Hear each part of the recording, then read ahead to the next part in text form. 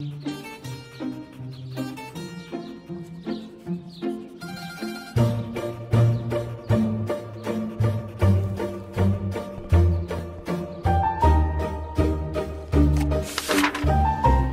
five years, Indonesia celebrates its democracy with the general election. The General Election Commissioner is an independent government body that is responsible to hold the election.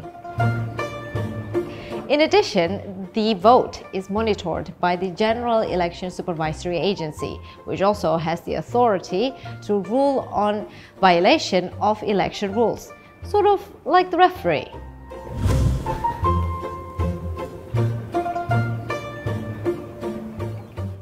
In election, voters will elect national and local parliament member, which means voters have a freedom to choose their representative in a legislative branch and assert some control over them.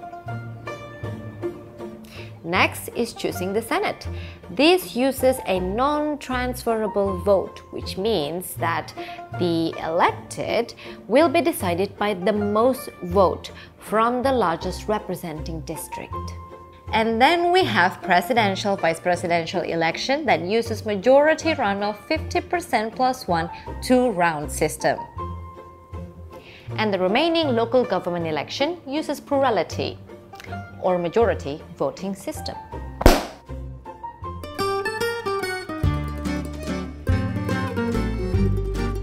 Depending on the location of the voting, voters will be given four or five ballot papers.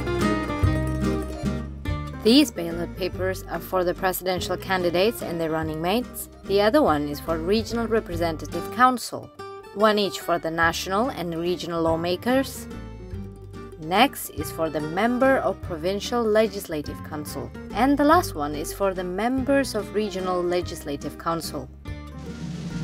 Okay, let's vote!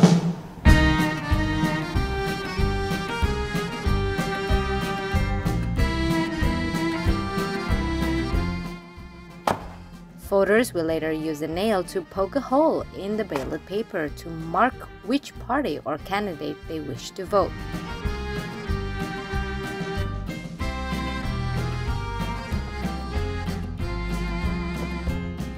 Then dip their finger in indelible ink to ensure that voters cannot cast multiple ballots.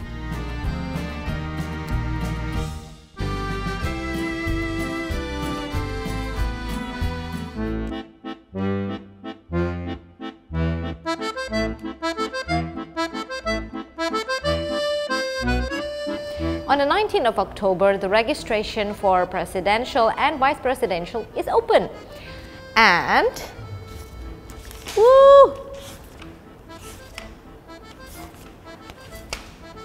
On the 25th of October is the deadline for all registration for all candidates. On the 28th of November, the campaign period officially begins and it ends at 10th of February 2024. And then comes the big day, the election day. From 15th of February to March 20, the vote will be counted and recapitulated. If no presidential ticket wins over 50% of the popular vote, the second election will be held with the top two pairs of candidates. The second round for the campaign will be started at the 2nd of June and it will end at the 22nd of June and the second round for the presidential election will be held on the 26th of June. Your vote means a lot not just for yourself but for the whole country. So let's exercise your right by voting. Sharon Mediana, Anita Putri, for Today.